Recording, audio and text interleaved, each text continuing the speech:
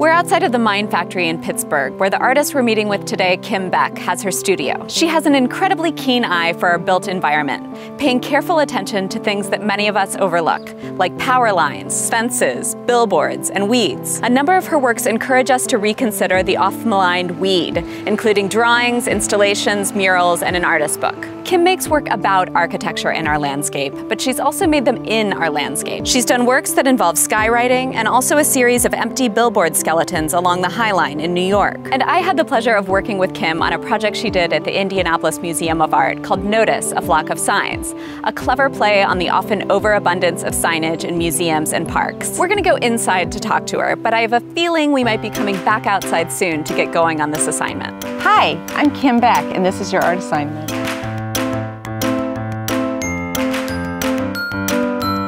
So this studio is the place where I process a lot of different material and information. You know, I sit and look at the images, the photographs that I've taken. I play with drawing and rubbings and new materials. One of the things that I've been doing lately is is working on rubbings. So I started rubbing, doing making rubbings of the concrete floor in this building, um, and I guess sometimes when I don't really know what I'm doing, I tend to look at the ground.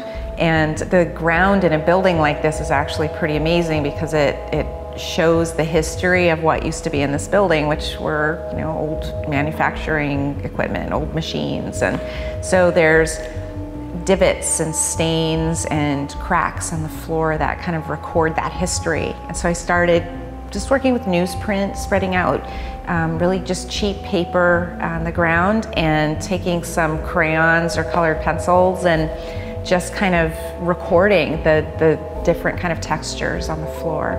Um, and that process is something that, you know, when I've gone out and made these other field recordings or surface tests, um, as I've been thinking of them, um, this is a place where I can come and look at them and pin them up and think about them. And for me, it's a way of, you know, the way that a photograph records this fraction of a second in time and place, and a fraction of a second of light.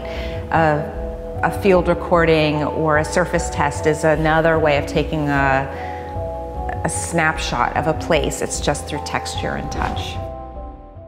Your assignment is to one, get your materials. These include a nice crayon, a largish size piece of textured sketchbook paper. Two, find a piece of ground that you respond to in some way, either because of how it looks or the texture. Three, go out and make a rubbing of this piece of ground, putting the piece of paper onto the ground and rubbing the crayon slowly over it so that you capture the rubbing. Four, take a photograph of this rubbing in place. So while the rubbing is still on the ground, you can use pieces of rocks or sticks or whatever is nearby to hold the thing on the ground and then photograph it. Take a couple of photographs and take your time so you really like the way that you photographed it. Try photographing from different angles. And then five, send us the photograph. Okay, so Kim is asking us to do a rubbing, which you might have done before, maybe even in elementary school. But people have been making rubbings for a long time, including artists like Max Ernst, who's associated with surrealism. He made these drawings in the 20s called frottage, or the French word for rubbing. He saw this floor in a hotel, a wooden floor that was amazingly detailed, and he made rubbings of them. And then he actually saw images within those rubbings that looked like forests or wild creatures. And he used this technique as a way to tap into the unconscious mind. So there's a history to making rubbings, but I don't really think that's what's happening here with Kim's assignment. What I'd like to talk about today is representation and how we tend to assume that a photograph or a photoreal painting is somehow the most accurate way to depict a place. There are other ways to record something not based on photos, like a rubbing. It's something that we all know, but it's been theorized by the philosopher Charles Sanders Peirce, who developed his theory of signs, which is basically looking at the way we humans come to know the world through representations. It was published in the 1860s and it's extremely complicated, but I'm just gonna share with you the bit that applies to our assignment today, but I want you to go and read it all yourself. Peirce's theory thinks through how signs relate to the objects they point to, and he says there are basically three kinds of signs. An icon is a sign linked to its object by a shared quality or likeness. Like a painting of a landscape is an icon of the actual landscape it depicts. And a symbol represents an object through a rule or an interpretive device. Like the word pipe is a symbol of a pipe, but it doesn't look or smell like a pipe. It only has meaning because you've learned to connect the symbol with the object. But an index is a sign linked to its object by an actual physical connection. Like smoke is an index for a fire. It's a mark or trace like a footprint or a cast shadow.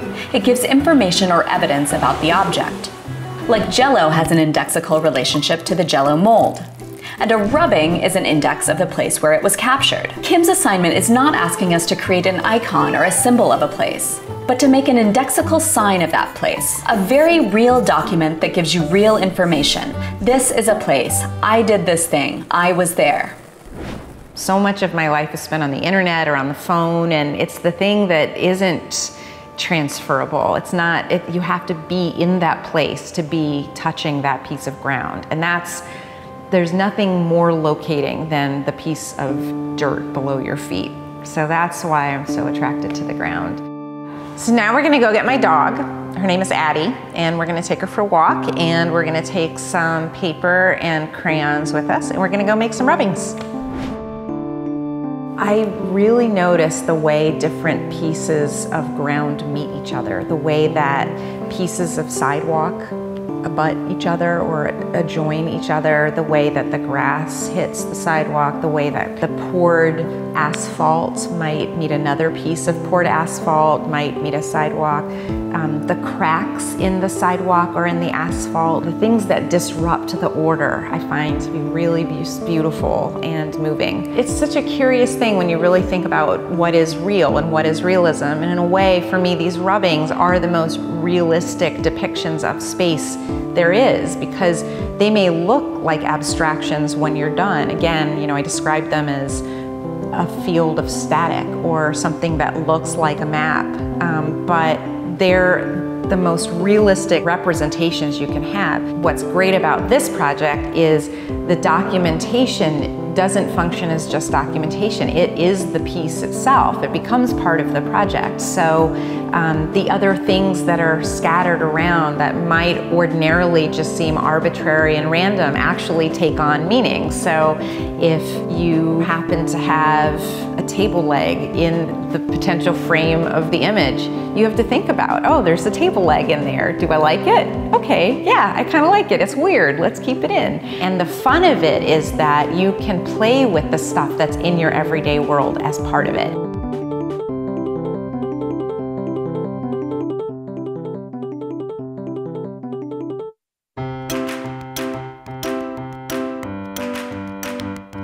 Well, the materials are one dog, so you'll need one dog, one crayon, and one piece of paper.